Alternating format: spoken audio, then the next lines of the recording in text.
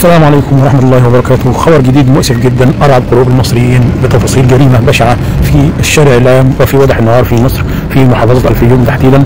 راح ضحيتها محامي عندما أقدم شخص على قتله أمام زوجته بالطريق العام وفي وضح النهار بسبب خلافات سابقة. عاوزين نشوف إيه التفاصيل وإيه اللي يخلي واحد يقتل جاره بهذه الطريقة البشعة بفأس. الراجل كان قاعد زي ما إحنا شايفين أمام منزله مع زوجته وأولاده. فوجئ إن حد داخل عليه بفاس بيخبطه وخبطه عدة آه، مرات بالفاس بطريقة بشعة. أفضت إلى الوفاة في على الفور وتم القبض على ال- الجار. وعاوزين نشوف إيه سبب الخلافات. وإيه اللي يخلي جار يقتل جاره ومش حد غريب يعني؟ لك تغير تفاصيل الواقعة.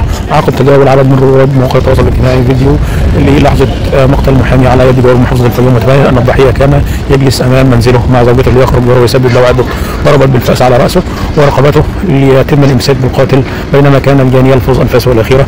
التحريات الأولية كشفت أن المتهم كان دائم التعدي على والدته وحاول المحامي الإصلاح بينهما. وتدخل عدة مرات لحماية الأم من بطش ابنها فقرر الجنين الانتقام منه. وما أن أراه جالسا أمام منزله حتى هاجمه وأنهى حياته وتلقت قوات الأمن بلاغا بمقتل 40 في وضح النهار بطريقة بشعة بقرية الإعلام بدائرة المركز. وانتقلت قوة أمنية من المركز وتبين مصرع المحامي في الحال سيد أويس خلف. المحامي لا يزال في العقد الرابع من عمره الذي قتل عليه جوره حيث كان يجلس أمام منزله مع زوجته وهاجمه جاره من الخلف.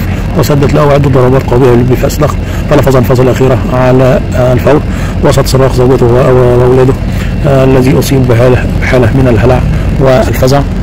ودفع عن مرفق اسعاف الفيوم بسيارة اسعاف إلى مكان الحادث حيث جرى نقل الجثة إلى مشرحه مستشفى التامين الصحي تحت التصرف لاعاده التحقيق التي انتدبت الطبيب الشرعي لإجراء الصفة التشريحية وإعادة تقرير بأسباب الوفاه وتسليم الجثة لذويها والتصريح بالدفن فور الانتهاء من التشريح وانتهاء الإجراءات القانونية.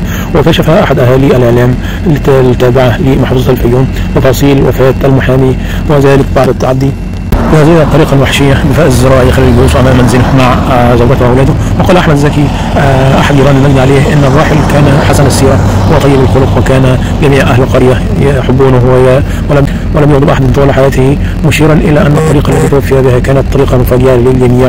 ومن جانبها كشفت زوجته. أن المجني عليه حاول الإصلاح بين المتهم وشقيقته. ونجح في ذلك. كما أضافت أن المتهم منذ ذلك الوقت بيت النية لقتل زوجي وفي يوم الواقعة اعتدى عليه آه، المتهم بفأس زراعية خلال جلوسه منزله مضيفة وإحنا قاعدين طلب مني اعمل له كوبايه شاي لكن ما لحقتش لقيت المتهم جاي بالفأس ونزل على راسه من ورا وضربه جريمة مؤسفة بالفعل. يعني جيران ومبيت النية عشان كان بيصالح على أخته وشقيقته وأمه. تابعونا في أخبار أخرى.